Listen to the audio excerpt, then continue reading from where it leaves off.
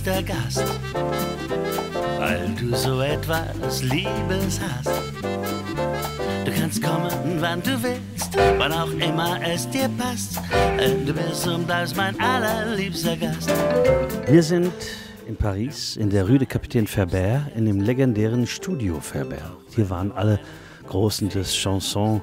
Hier war Charles Aznavour, hier war Gilbert Becot, hier haben wirklich alle gearbeitet, vor allen Dingen Serge Gainsbourg. Es steht hier sogar ein altes Sofa rum, das Serge Gainsbourg selbst angeschafft hat.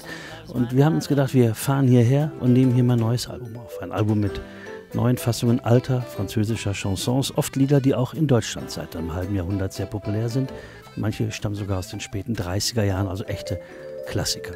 Und wir haben gedacht, wir lassen uns inspirieren hier von Paris im Frühling. Wir lassen uns inspirieren von diesem historischen Gemäuer, von dieser prähistorischen Technik und von diesem großartigen Team im Studio Ferber und ich glaube, es funktioniert. The thing is, I love the toy piano. I have it on many records, here and there as an effect.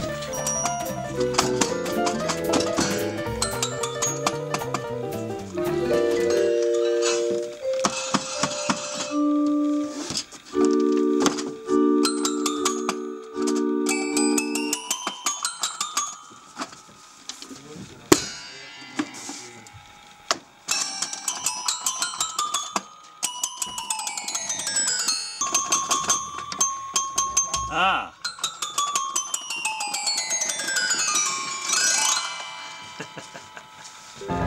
Viele kommen mich besuchen, viele sind mir lieb und fair, doch nur eine, ja nur eine. Ja, möchte noch jemand noch mehr Kuchen? Du bist mein allerliebster Gast weil du so etwas Liebes hast. Du kannst kommen, wann du willst, wann auch immer es dir passt. Du bist und bleibst mein allerliebster Gast.